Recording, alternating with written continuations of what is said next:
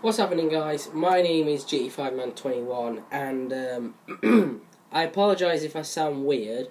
It's due to the fact that I've got a little bit of a sore throat, and uh, yeah.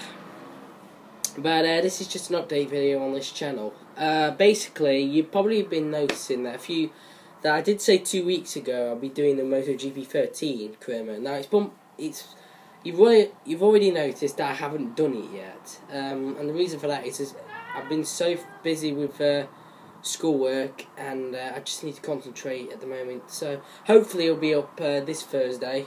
If not, we'll just have to wait and see.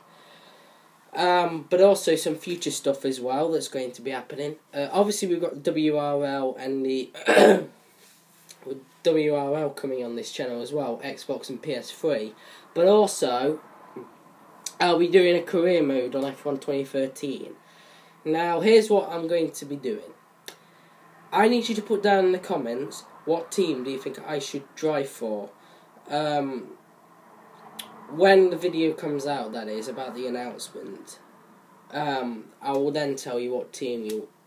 I'll then um, make a video saying what team you want me to drive for, because I haven't got a clue what the teams are on the career mode yet. So, yeah.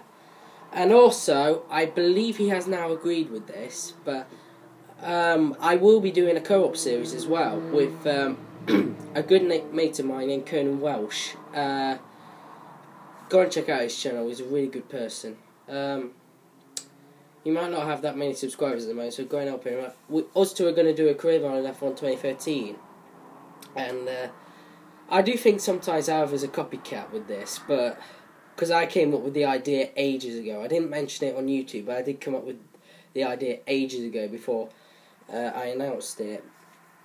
Before F1 2013 even got announced, and that was that uh, the plan was to try and get McLaren back to the top.